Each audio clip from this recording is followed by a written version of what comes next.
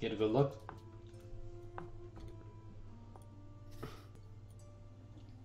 Savannah? Not just her. Why do you have so many prisoners? Because I'm going ape shit. I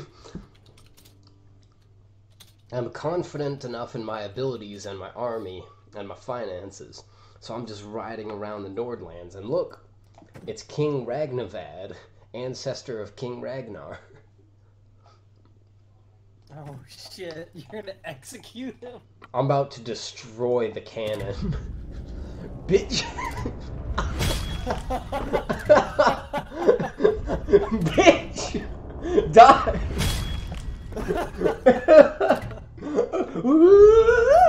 Every person.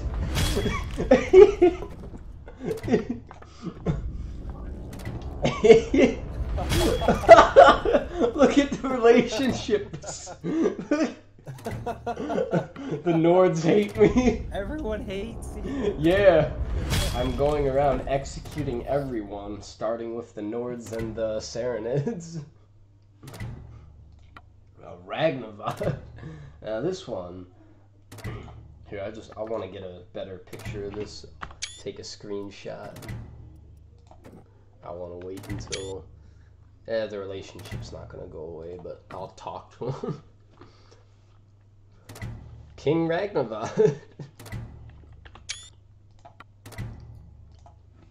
Don't do anything stupid like run away. I'm gonna kill you. Why is Poldrin so large? Cause he's a bitch and now he's dead. Let's take a look at kingdoms. The Sturgians. So they're dead. they're dead. Vidar is the new king since the oh the other one was got executed. Ragnavad here. Prince of the Sturgians, executed in 1085 at the age of 38. His last journal recording, Ragnavad was executed by Executioner Ellos. Oh, oh my god, I destroyed an entire clan. Let me take a couple pictures of that. Oh She's executed by Executioner Ellos. Ex- no longer the head of the clan as he was executed by Ellos. Executed. Executed. Executed. Oh my god. Vayuraving is a dead clan.